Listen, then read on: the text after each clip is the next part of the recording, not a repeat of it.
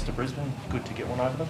Yeah, it was good. I think it was for us, the club. It was a quality game of footy, and it's the best performance since I've been at the club from the team. And uh, for our younger blokes, who I was obviously quite hard on last week after the game, and for them, it was the hardest game they would have played in. And I say that because it was a game where there was low penalties. Broncos were here to play. It was a fast game, and we had an opportunity to win the game or lose the game. So I thought they showed that they can actually go the pace in high intensity game with the right mindset, which was really, really important for us as a club to advance forward. Because they fired shots at you, though. Oh, they're yeah. good, mate. Yeah. They're like that Milford and Darius and Jimmy the Jet Bird. Yeah, brilliant players, you know. And you know the Broncs obviously aren't quite where they'd probably want to be, but they're not going to be too far away for too long, mate. You know they got. You know, Matt Lodge was pretty strong, I thought tonight, and you know if he's going forward like that with Pangai Junior and you know Milford and Darius, then blokes they're going to be winning their share of games. It's a long while since you've probably had a defensive performance. Well, I can't remember one like that, Baz. Yeah, yeah. To only allowed two tries and they had a heap of repeat sets, you know. So, and I didn't think we got any 50-50 calls, you know. Like the winger had two errors we didn't get anything from. A couple of forward passes got called for us, which I'm not saying they weren't, but I don't think we got many 50-50s. But we competed well and found a way to get home. Just before the Milford try there at the end, there was there a forward pass in the lead up by Milford oh, himself? Oh, I'm not sure, Baz. I, as I said, I just didn't think we got too many 50-50s. You know, I thought in the lead up, I'm not sure if they were if we're refereeing the onside rule on the trial and like we have been for the past month, I'm not so sure how they were onside on junior, but you know, but the good thing was we competed hard and we hung in there and we found a way to win against a side that's got you know a lot of very very naturally gifted football players. Kalyn Ponga, we're going to start talking him up for Origin if he keeps on going like that. Oh yeah, look, you know, we're we're certainly not going to talk him down, you know, but. KP's young and we're like we love having him and we're proud of him. You know, he's a terrific young kid, you know, and you know, you know, the one thing Queensland's done there, you know, Mal and then Kevy, they've introduced their players at the right times, you know, and if they feel he's going to be right at some stage, you know, I'm sure they'll pick him. You know, and, you know, as I said, they've really transitioned their players so well, Queensland, and you know, if if they feel he's going great, good enough, or great, if they think he needs another 12 months, well, that's uh, certainly up to them. But we're certainly very grateful that he selected our club to come to. That's for sure. Mitch, he just looks like he's he's he's that other option, and and and you you can go to him and he can create something. He seems to take pressure off you. How, how valuable is he for your game?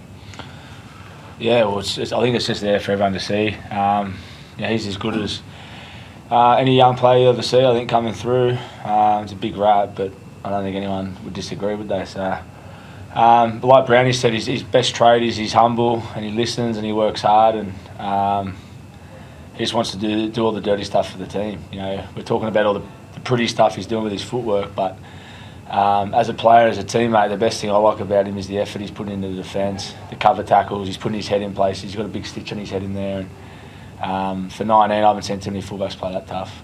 Like that, that's what Origin players are made of, not just the, the Origin talk. Yeah, you love it. you love Origin talk. Uh, well, I'm sure when he goes in there, he'll be more of a heartache for New South Wales again. Is what was your thoughts on the win, mate, and the courage that the boys showed out there defensively on their line there? I think they had three sets in a row there in the first half on, on your line uh, defensively.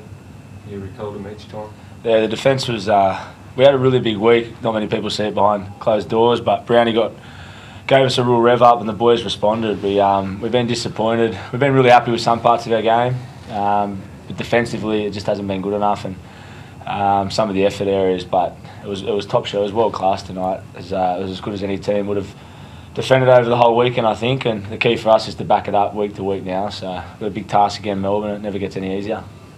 Nathan, with this um, tough early draw, you got um, you know only two home games out of your first eight. How important was it to win these games? Uh, oh, it's really important, Rob. You know, and I think we've all agreed over how good the fans have been through some really tough times. So to be able to reward them with some wins in really close, exciting games is great. And obviously for our you know position on the table, obviously as well. You know, so we got you know we had to Melbourne and then Tigers away, then another one away, and then you know if we can put some good performance in away from home, then we're going to have that chunk of games at home. And you know our first two games at home have beat two sides of I feel are very very good football sides who you know playing well are going to be there at the end of the year. So it's it's it's great to play at home, but you know we've had one win away, and over the next sort of few weeks we need to make sure we take what we took today and take it to Melbourne next week to give ourselves a shot.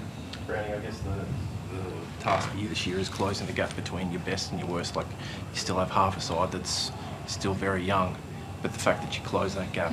Well, that's the challenge for you know a lot of the experienced players we brought in have obviously proven that over the course of their careers. That's why they've played for so long, and that's the challenge for our younger players that you know where their good is and where their bad is to be close together, and that's the challenge for any first grader. And you know that's hopefully you know out of Junior and Chris Heighington and Aiden and these blokes that we've brought in. You know, hopefully our, our younger blokes can not only see that they play hard to win, but then they come to training to get better and not be satisfied with just winning or just trying out. You know, so there's some good challenge there for us. But you know, we, we certainly feel we're heading in the right direction. But we certainly need to get to where we'd like to get to as a club. We've still got we've still got our challenges yet.